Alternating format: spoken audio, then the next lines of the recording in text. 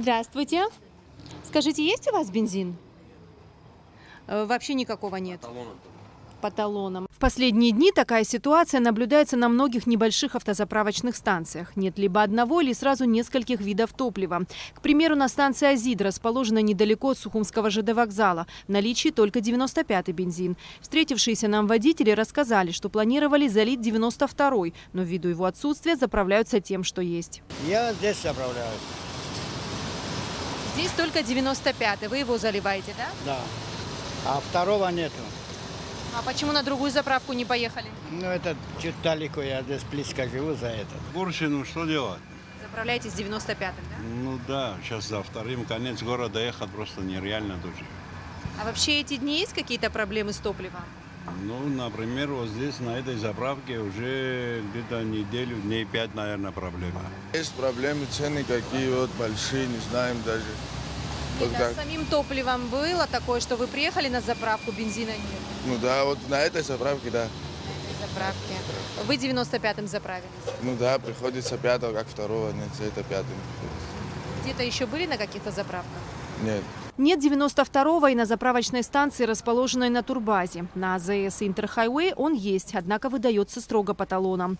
При этом крупная заправка «Азит» не испытывает какого-либо дефицита топлива. Здесь в наличии все виды горючего. Мы обратились в Министерство экономики, чтобы выяснить причины сложившейся ситуации. В целях а, планирования расходов и остатков нефтепродуктов а, компаниями, которые занимаются оптовыми поставками и а, теми же занимающимися параллельно розницей, было принято решение, что необходимо обеспечить нефтепродуктами в первую очередь их главные заправки. Это касается в том числе ситуации с Азидом на заправке, которая расположена в районе вокзала.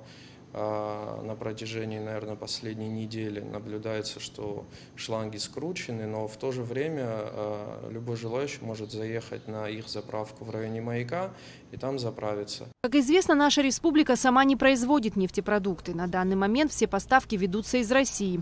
Доставляется топливо в основном вагонами, при загруженности железнодорожных путей – цистернами.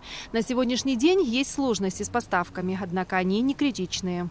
У нас есть сложности с поставками, это связано и с э, ценами, и со сроками доставки, а, и с тем, что происходит на российском рынке нефтепродуктов, то есть волатильность э, и постоянное изменение цен чуть ли не ежедневное.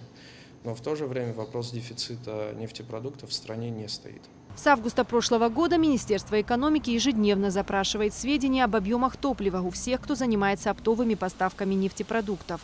По словам Теймураза Миквабия, согласно всем этим отчетам, топлива вполне хватит до следующих поставок. Эсма Голанзе, Михаил Братухин, Абхазское телевидение.